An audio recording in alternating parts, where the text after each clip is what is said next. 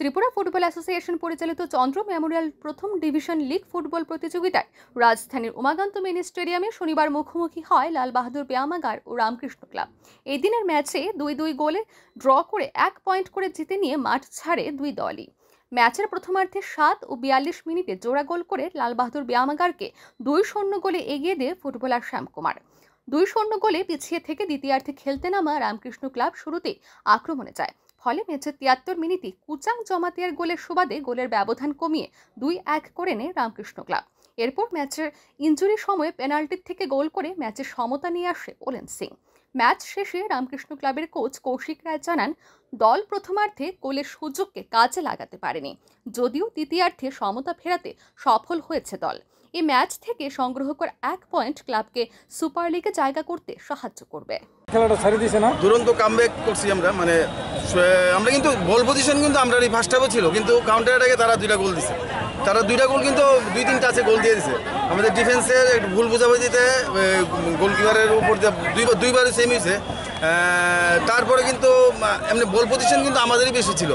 Second half তো মোটামুটি আমরা যথেষ্ট ভালো বলছি বিশেষ করে ধনঞ্জয় আজকে অফ ফর্মে আসলো ধনঞ্জয় যে স্টপার যে, ধনঞ্জয়ের তোলার পর পালদেনটা যখন নামাইছি, তখন কিন্তু আমরা খেলার গতি প্রকৃতিটা মানে মানে টোটালি অ্যাটাকিং হয়ে গেছে। মাঝখানে কি হয়েছে, ধনঞ্জয় থাকতে মানে ওদের বক্স অব্দি কিন্তু আমরা যাইতে পারছিলাম না। মাঝমাঠ অব্দি থা- আটকে গেছিলাম। পাল দেন আসার পরে ও যেভাবে বল করে রাখছে, তাতে আমরা পুরো অ্যাটাকিং খেলছি এবং মানে সাফল্য পাইছি। সাফল্য বলতে ড্র করতে পারছি। মানে পয়েন্ট নষ্ট হয়েছে না। যাতে আগামীতে আমরা মানে সুপার বড় ওঠার পথে সাহায্য করতে পারব হয়তো এই একটা পয়েন্ট এটা ভাইটাল পয়েন্ট ভাইটাল পয়েন্ট অন্যদিকে লাল বাহাদুর ব্যায়ামাগারের কোচ সুজিত ঘোষ জানান ম্যাচের প্রথমার্ধে দুই শূন্য গোলে এগিয়ে থেকেও ম্যাচের শেষ সময় পর্যন্ত গোলের ব্যবধানে ধরে রাখতে সক্ষম হয়নি দলের ফুটবলাররা।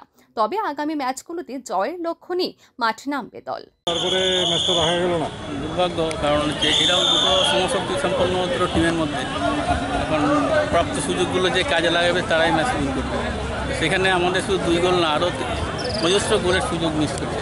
এবং তারা যে মানে লাস্টের দিকে যে প্রেশারটা দিয়েছে, এগুলো যে কোনো টিম হলে এই প্রেশারটা অলরেডি পেছনে দেবেই। পেছনে যারা থাকবে অলরেডি একটা প্রেশার তারা দেবে। দেওয়ার পরও আমাদের ডিফেন্সে কিছু দুর্বলতার সুযোগ তারা নিয়ে পেনাল্টিটা হয়েছে। কিন্তু আজকেও দেখলাম যে রেফারি হয়তো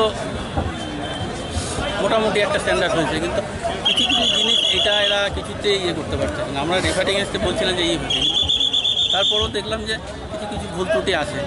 সেগুলো আমাদের দৃষ্টি হয়ে গেছে আর কি। তো তারপরেও ওভারঅল আমার টিম ফার্স্ট হাফ যথেষ্ট ভালো খেলেছে এবং শুধু দুই গোল না, আরও পাঁচ, ছয় গোল দেওয়া উচিত ছিল। এদিকে ম্যাচের ইঞ্জুরির সময় এদিন দুই দলের ফুটবলারের মধ্যে শুরু হয় হাতাহাতি। ফলে লাল কার্ড দেখেন রামকৃষ্ণ ক্লাবের ফুটবলার রোশন সিং এবং লাল বাহাদুর ক্লাবের footballer Ronaldo Debbarma. Bureau report, R E news.